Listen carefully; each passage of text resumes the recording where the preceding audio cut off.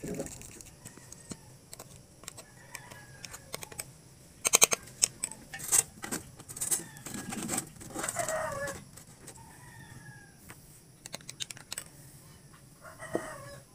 Good morning, my love shoutout. So, this is how I prepare my simple breakfast mga langga. So, breakfast alone again. Kaya, salamat Lord sa grasya na ito at mayroon na naman po tayong makain.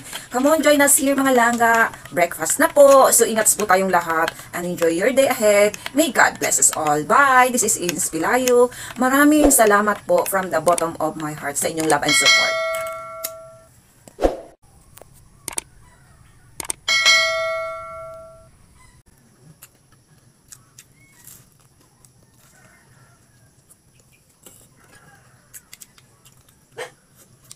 Nossa, eles pariam.